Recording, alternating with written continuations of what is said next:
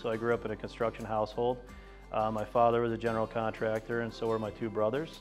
Um, so I've been involved in the construction fields uh, since I was a eight-year-old kid. Uh, my name is Josh Campbell. I'm the Director of Talent Acquisition here at Wanzek.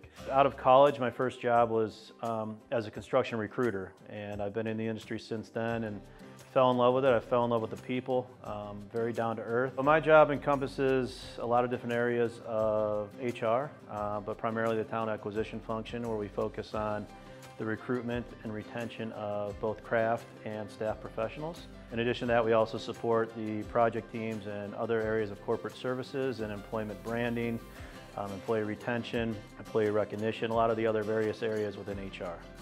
I truly believe that someone coming straight out of school can make it a 30-year career at Wanzek uh, for a lot of different reasons. One is we have uh, a culture of rewarding and challenging folks within our organization to grow.